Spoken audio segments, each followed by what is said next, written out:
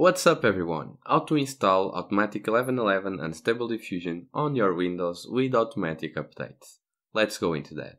There are a couple of requirements that you need to check before installing Automatic 1111. The first requirement is to have Python 3.10.6 and you can check your Python version by writing cdm in your Windows tab and then here you write Python version. You need to have this version 3.10.6. If you have higher version, you might face some issues, so make sure that you have this version. If you don't have this version, you can go to python.org and then you go to downloads and all releases. Here, once you are in this page, you can search for 3.10.6. Here you click download and go down here. Here you have the Windows installer. You press on it and you execute the installer. For my case, I already have the 3.10.6, so make sure you have this one. The second requirement is to install Git. If you don't have already, you can go to this website, which is in the description, and download it. Once it is downloaded, you can install it and config with your account. Once you update your Python version and install Git, you can go to this website, which is in the description. And once you're here, you can copy this git command, which will clone the Stable Diffusion web UI. So you copy this command, you open again the command line, and here you can paste this command and press enter. After the clone is completed, you can go to this folder, your disk C and users and the user where you install it, so it is here. And then once you are here, you can search for your folder, which is Stable Diffusion Web UI. You open it, and now before the next step, we need to download a model into this folder, models, and then Stable Diffusion. You can see here this file to put our Stable Diffusion checkpoints here. For that, you go to the description of the video and you open this website. It is the interface where the models are and you need to download this file, this pickle file. You can also download this one, but it is way bigger. So I recommend to start to download this one. So you press here, it will start the download and it will take a while. Now that the download is finished, make sure that you leave the file here. After this step, you go again to Stable Diffusion Web UI and you go down.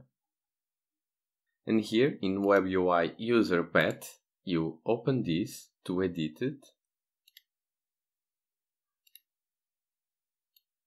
And here you need to insert the Python path to your Python version. So how do you make this to make sure that the path is correct? You open the Windows tab and then you search for Python.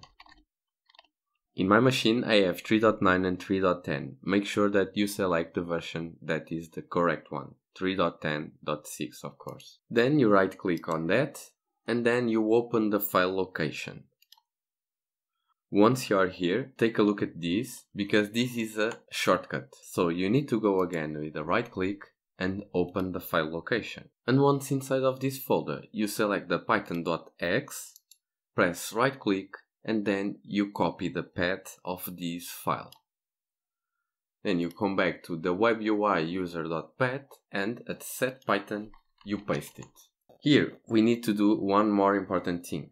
You go here and you write git pull. This is what will trigger an update every time that you start Automatic 1111, so it is important to have it here. Now you can close this and make sure that it is safe.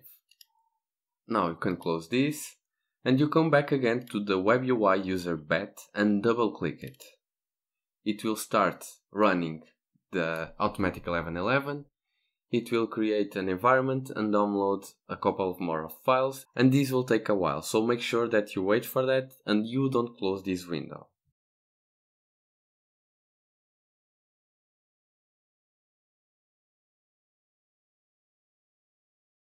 So once it is completed, you go to this URL, which is running on your local machine, and in your web browser you paste it.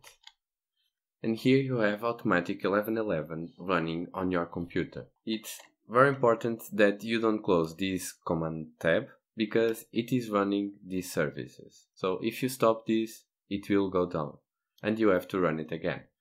So basically, you can go here to the Stable Diffusion checkpoint and if this is empty, you can select the one that you downloaded before. Another important thing here are the extensions. So here in the tabs, you can go to extensions and here in available, you should have this URL.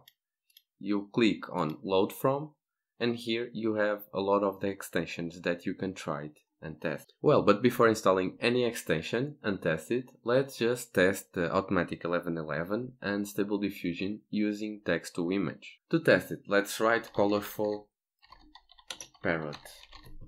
We'll use Euler A and 512 by 512. You press generate and as you can see it is working perfectly and it generated a very cool image though this image is pretty cool. So if we generate another image, for example, of a cat, we can see here in this tab that it is running. So make sure that you don't close this tab while the automatic 1111 is running, at least if you need it. Because if you close this, this won't work anymore and you will have to start it again. And here you can see the time that it takes to generate this image. All image that I tested takes between 3 and 5 seconds and I'm using a RTX 3060 for the laptop. If you have any question regarding graphic cards, make sure that you go to the link that I will leave in the description that will lead you here, which give you some configurations for graphic cards with 4 GB of memory. If you have any question, leave a comment below and make sure that you subscribe to the channel because I'll be posting a lot of videos regarding Automatic 1111 and Stable Diffusion. I think this tool is awesome and we should learn how to use it. I hope to see you around. Cheers, bye.